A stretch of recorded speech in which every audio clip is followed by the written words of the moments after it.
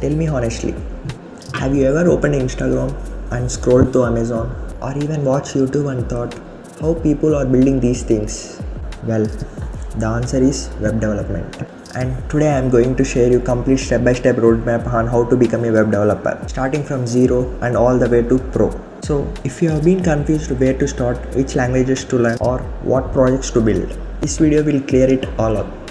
So before going to start the video, let us discuss about what exactly is web development. Web development is nothing but the heart and science of building websites and web apps. Now imagine a house. The walls, the rooms are like HTML. They give shape. The paint, the furniture are like CSS. They make it look beautiful. And the electricity, water supplies and switches are like JavaScript. It makes the house come alive and that's how the websites are built too and remember there are two sides of every websites front end and back end front end is nothing but what you see on the screens but back end is nothing but what happens behind the scenes. So let's discuss about step by step. Step 1 learn the basics. Start with html css and javascript. You don't need to master everything in one day. Just spend 2 to 3 weeks building simple pages. For example create a personal resume website. Put your name photos hobbies skills whatever you want.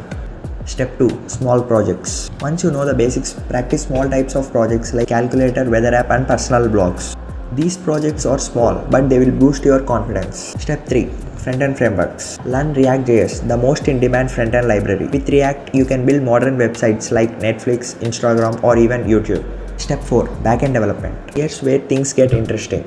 If you are comfortable with JavaScript, learn Node.js with Express. If you like Python, go with Django and Flask. Also learn about databases. Think of them like a memory of your app. MongoDB if you like flexible and document style data. MySQL or Postgres if you like structured table. Step 5 Full stack development. In this step, you have to connect both your front end development and back end development. For example, build a blog where users can register, write posts and comments, or create a simple e commerce app with a cart and checkout system. This is where you will feel like yes, I can actually build something real.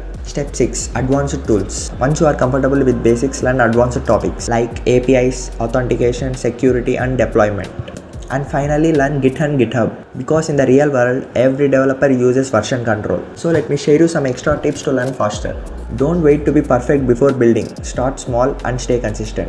Showcase your project on GitHub and build a portfolio of websites. Employers can love it. Join online communities like LinkedIn, Discord, and Reddit.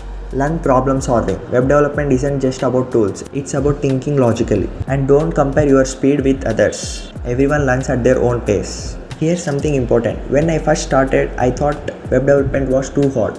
But trust me, once you start step by step, you will realize it's not about talent, it's about consistency. So, that's the complete guide to web development. Now it's your turn. Start today, even it's just building a simple web page. If you found this video helpful, make sure to hit the like button and share it with your friends and subscribe to the channel. See you in the next one. Bye.